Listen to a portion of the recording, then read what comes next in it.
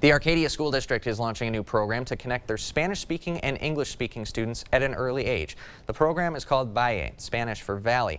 The class of 26 has kids who are either dominant in Spanish, dominant in English, or already been exposed to both languages at home.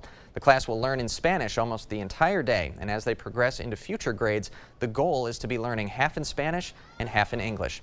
One of the teachers is in her 11th year in Arcadia, and she says she's already seeing Spanish speakers getting more comfortable engaging in their language with their English-speaking classmates.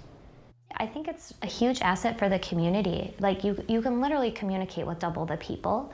Um, and the reading, writing, speaking, and listening in both languages becomes that much stronger, being that all of your language is valued. You're bringing all of your language to the table.